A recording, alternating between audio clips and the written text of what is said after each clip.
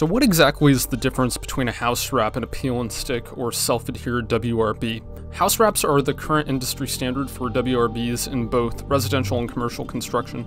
Um, they're made up of essentially a fabric of polypropylene or polyethylene in a way that prevents water penetration, but it will allow for vapor to move through them.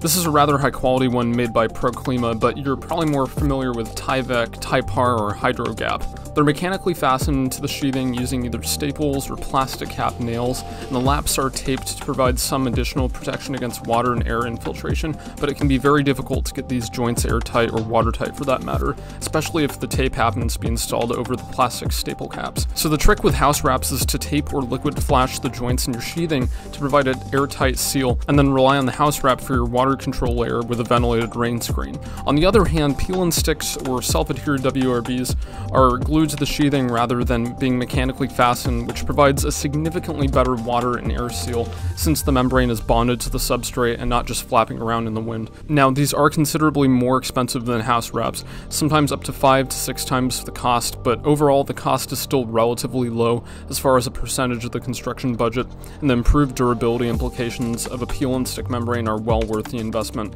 especially if you want your house to last for many decades without problems. Now, the other category of WRBs are fluid applied membranes which are sprayed or rolled onto the substrate to form a monolithic water and air control layer. The real benefit of these systems is that you can get between every little nook and cranny. Now you might be thinking, this is a piece of zip sheathing, not fluid applied. Well, the green coating on zip sheathing is actually a fluid applied WRB that's layered onto the sheathing during the manufacturing process, so you can kind of get an idea of what that membrane is like when it cures dry.